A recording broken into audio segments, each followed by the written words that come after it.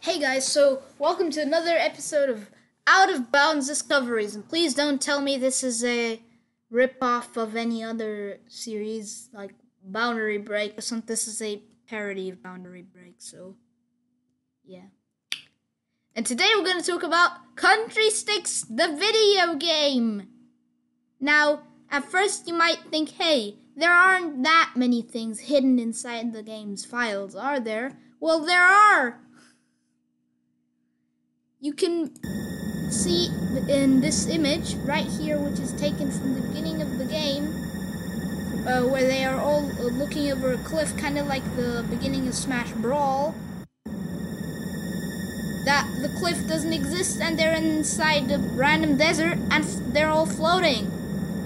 Also, somebody hid this weird image of something that appears to be a penis in the background and I don't know why it's there.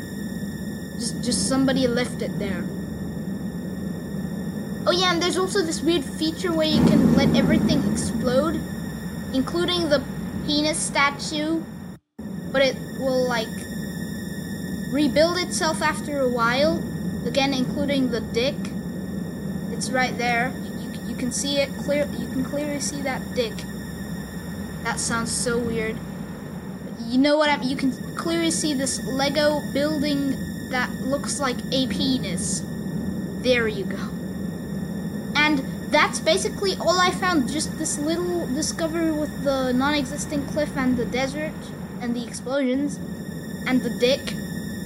So, not a lot of stuff actually, but yeah. Like if you enjoyed, or don't.